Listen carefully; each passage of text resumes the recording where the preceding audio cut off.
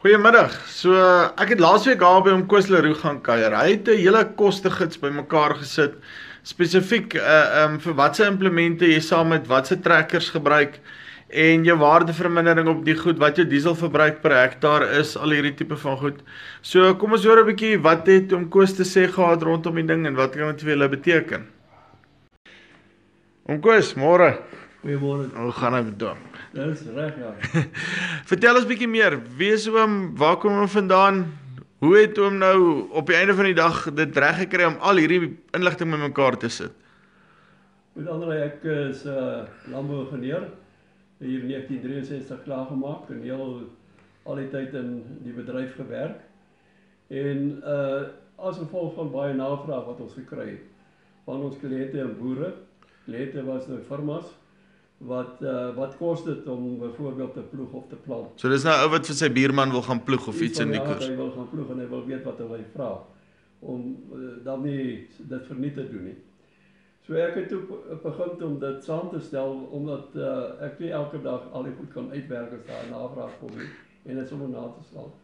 So wat ek gedoen het, het al die trekkers wat beskikbaar was in klasse ingedeel van Uh 10 20 uh, kW tot oor die 500 kW nou deesdae.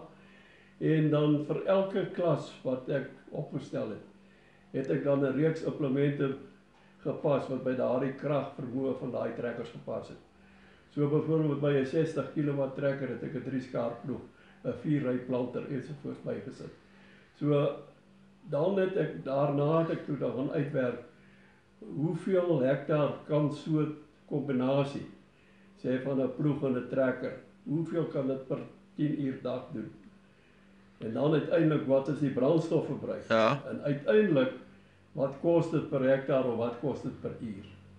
Ja, want dit is ook nie altyd dieselfde som nie, nê. Nee. Is 'n per hektaar en 'n per uur som maak baie keer 'n verskil. Dit maak 'n verskil want daar is eintlik ouens wat graag die koste per uur wil hê. So wat 'n mens doen, mens werk dit eers per uur uit en dan uh, werk jy eh, dit om na hoeveel per hektaar afhangende van hoeveel die spoed van die trekker en ensovoorts. So wat ek nou gedoen het is ook natuurlik dat ek eers op dit ook sê dat die boek is tweetalig. Ja. Met ander woorde is een boek, maar dit is tweetalig, so het ook die Engelssprekende ouens kan die boek met gemak gebruik. En veral deesdae die opkomende boere wat my ook mal maak oor die boek. Hulle kan hom ook as hulle Engels kan lees, kan hulle dit dan ook uh, verstaan. Uitstekend. So, Ja, dis baie belangrik. baie baie goed. Nou oké. Wys ons bietjie hoe werk die boek. Laat ons 'n bietjie kyk hierso. Ja, kom ons gaan kom hier na enige bladsy toe. Uh, Ja. Wat ek net by die begin daar kom.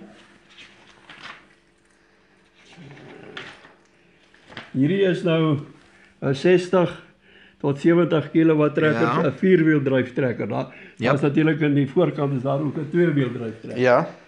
So in eerste kans sê die klompie trekkers wat beskikbaar is in daai kilowatt klas, Yes. noem ek daar met hulle pryse om 'n gemiddelde prys te kry vir die trekkers. Ja. En dan hierna kom dan al die implemente, byvoorbeeld ploë, uh diepwerk implemente of ekstra diep uh planters ensovoorts kom dan hier. En dan nou die res van die uitwerking wat ek gesê het. Uh, En watse watse inligting is daar nou basies? Byvoorbeeld ek vat nou hierdie uh New Holland 590D en ehm um, ek haak nou basies daai ploeg aan hom en dan gee hy nou vir my wat sy prys hierso, ja, hierdie is nou die implement se prys. implement se prys. En dan hierdie is nou uh, die uh, werkwyte van die implement. Ja. Dat dit is dan die spoed Yes. en dan die werktempo. Dit wil sê hoe- hoeveel uh werk kan hy in 'n 10 uur doen. Dit is met ander woorde is 'n 10 uur basis. En dan die brandstof liter per uur Ja. en dan kom ons by goed soos die vaste koste soos die waardevermindering, Ja. die rente op kapitaal, So hy daai goeders ook in. ja, en dan nou uh diverse koste wat nou lisensies ensovoorts insluit. Dit is jou vaste koste. Dan jou lopende koste is natuurlik nou in eerste instansie weer jou brandstofkoste, Ja. jou brandstofverbruik maar die prys en dan herstel en onderhoud. Dis jou lopende koste. En uiteindelik word die twee kostes bymekaar getel. Maar wat belangrik is in die boek Andre, Die kostes word apart gehou. Die trekker se koste en implement se koste word deurgangs apart gehou. Tot op die heel einde op die laaste tabel Ja. word die goed dan net bymekaar getel om dan vir jou die kombinasieprys te gee in rand per uur of rand per hektaar. Nou dis belangrik want 'n boer wil baie keer net sy ploeg vir sy buurman leen. Ja, want dit is ja, ek het al ek het al daai situasie gehad en toe weet ek ook nie oor die okay, duimsuig net maar R100 of En whatever. dan kan jy nou sien hierso wat kan jy per uur vra vir daardie ploeg wat hy gebruik. Uitstekend. Dan net een ding wat ons baie moet besy. As ons na hierdie bladsy kyk, Ja. Ons sal sien dat hierdie bladsy en hierdie een lyk amper dieselfde. Ja. Daardie ene is die koste rand per uur. Jep. Hierdie is die koste rand per hektaar. Dieselfde Selfde ding, rand per uur, rand per hektaar. Ja. En sê gou vir my watse tipe ehm um, inligting is daar nou? Ons het nou vinnig daarso 'n ploeg en trekker.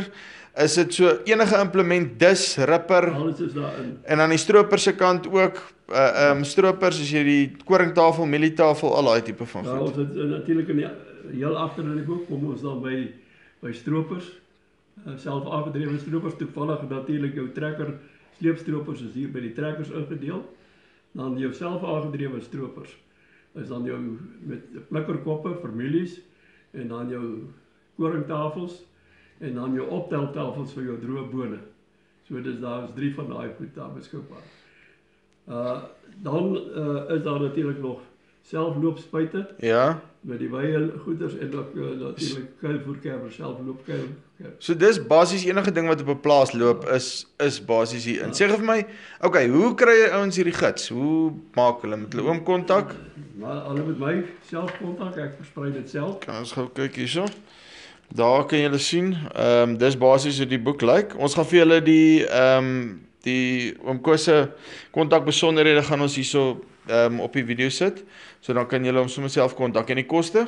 Koste vir jaar is 330 rand. 330 is dit posgeld ingesluit. Ons geld in as dit behalwe dat wanneer wanneer dit gekoerier word, dan moet hulle die, dan moet die die koerierkoste betaal. 100%. Nee, baie dankie oom. So ja, dit was dan nou hier by hom Koos. Ehm um, ek ons sal vir julle die besonderhede hier onder opsit van presisie koste gids, uh wat die kostes is en dit verbonde is, hoe jy met hom in verbinding tree. En ja, ek dink regtig uh kry daai boekie. Ek dink dit kan vir julle ongelooflik baie beteken. Groete.